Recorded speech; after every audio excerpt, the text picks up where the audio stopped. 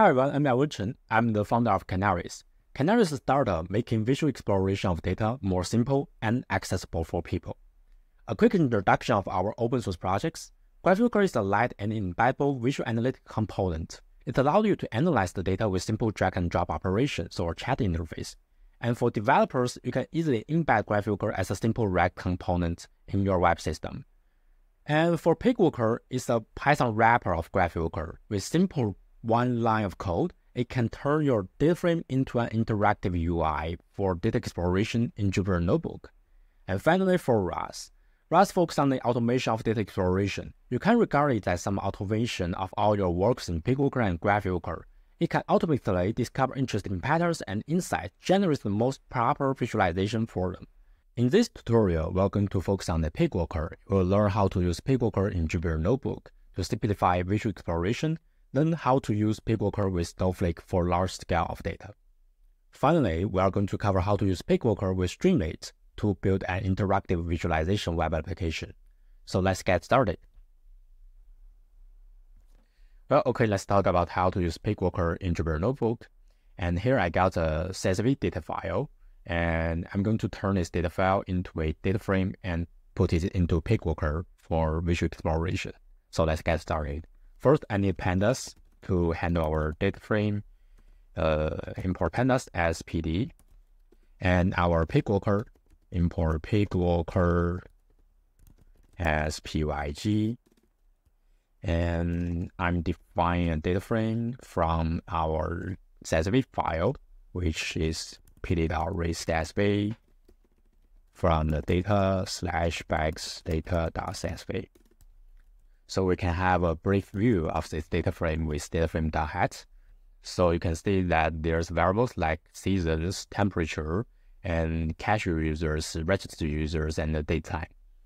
So I'm going to directly put the data frame into PyGWalker with the simple API pygwalker.walk with data frame. So here is our PyGWalker UI. And for this UI, there's a data type and visualization type. For the data type here, you can see that we have the raw data. You can view the details of every row of data. And you can also see the distributions of the columns. You can set some filters on those columns. Uh, for example, I can just select a sub-range of temperature. So I'm going to select this sub-range, and here we are. So for now, I got a subset of this dataset, and you can see that all those distributions of columns just recalculated based on the subsets I just choose. And here you can even see the filters I just configured. And you can remove these filters. Okay, so let's go to the data visualization part. Here you can build data visualizations with very simple drag and drop operations. For example, I can see the relation between temperature and season. And for the aggregation, I'm going to use Vim. And so building data visualization was super simple. In PyGWalker, you can just use drag and drop operations. And I can also check the relationship between temperature and daytime. But notice here for the daytime, it actually shows us it is the nominal type because of this icon. I need to change the type to the temporal so it can be a real time. So you can see that I can just change to a calendar, which chooses the, the real data. Okay, so I'm going to use the date time to see the relation between daytime and temperature. And I can make the visualization larger. Yeah. Okay, but the chart still looks a little bit weird because we got so many data points here.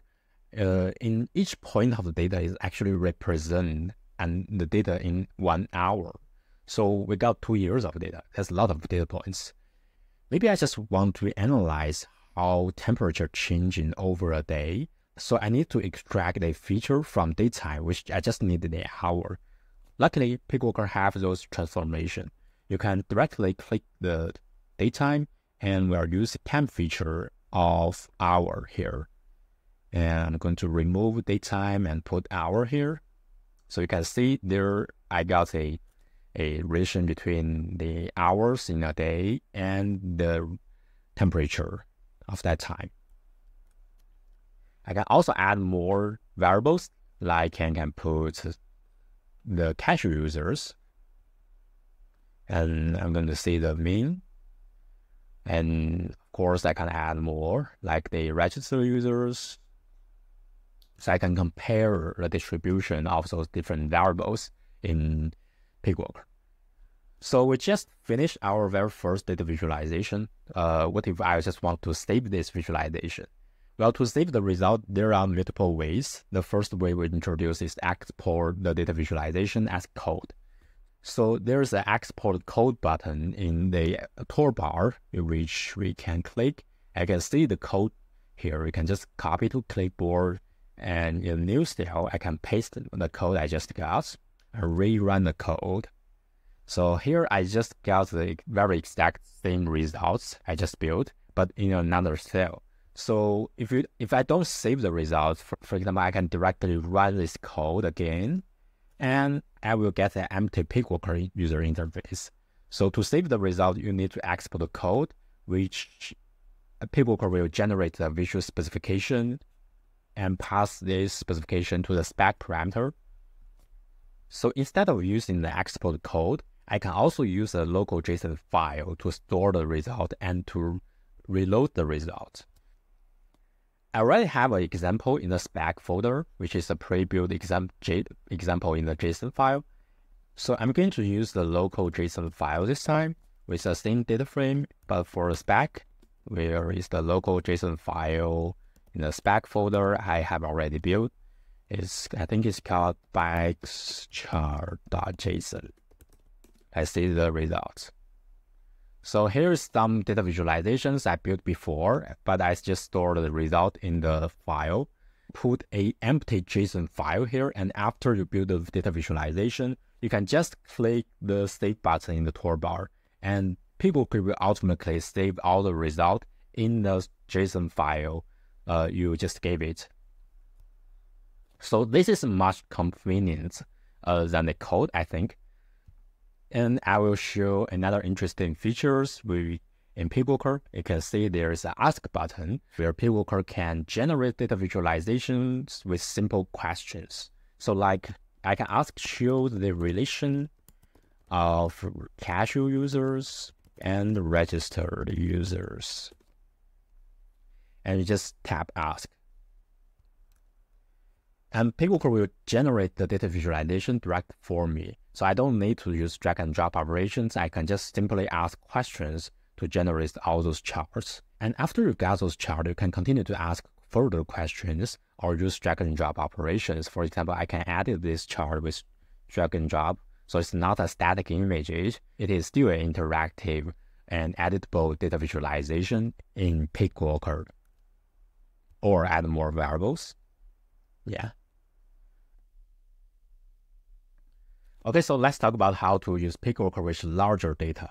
Well, PyGWalker by default estimates the volume of your data, and for small data sets, it will run all those computations directly in your browser.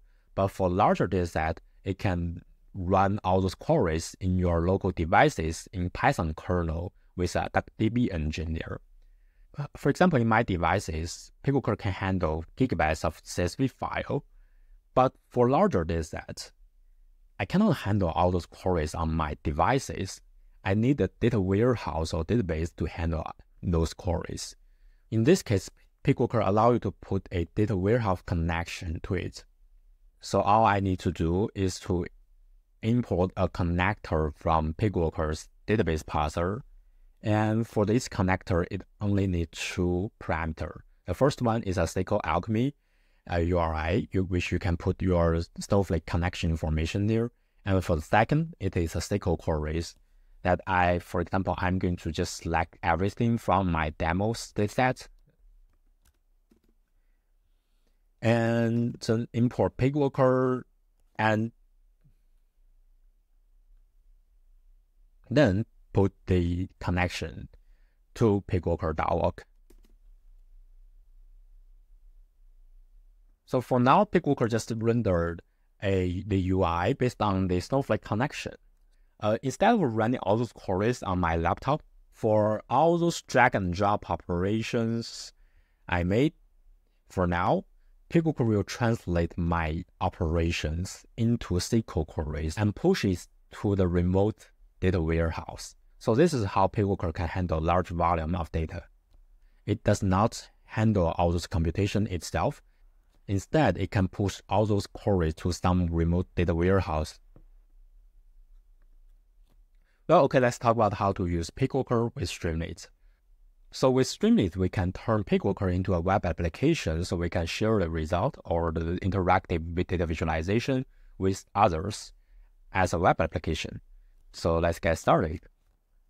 First, I'm going to import Streamlit as ST. And we also need pandas to handle the data frame as PD. So I'm going to build a web application that allows user to upload their own CSV file, and we can turn that CSV file into a PyGWalker UI to analyze those data.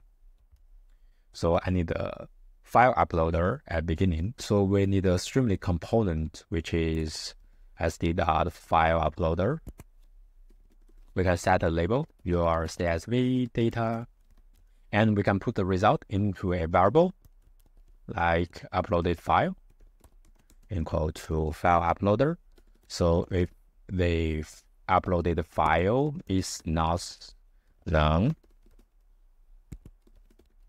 then we can turn this file into a data frame with pandas.read_csv. So data frame equal to pandas.read_csv uploaded file. Well, for now, we got our data frame. And now we need to render this data frame with PyGWalker. But so unlike render a PyGWalker UI in Jupyter Notebook, we have a new API in Streamlit. So I can from pygwalker.api.streamlit import our class called Streamlit renderer. And what we need to do is we need to initial a Streamlit renderer well, I'm going to call it PyGWalker app, which equals Streamlit renderer. And for the parameters, it's almost the same with the PyGWalker.walk. So we just pass our data frame to Stream renderer.